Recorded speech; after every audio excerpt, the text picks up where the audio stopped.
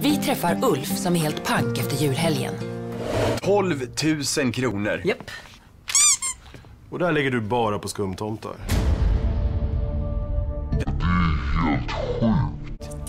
Är det? Ta alltså sms-lån för att köpa skumtomtar. Du har ju två hamstrar att ta hand om. Det Ulf måste göra är att sluta köpa så många skumtomtar och välja ICAs mycket förmånliga kortvaror. Ja, det ska bli spännande att se hur det har gått. Så du har helt slutat med skumtomtar? Ja, helt och hållet.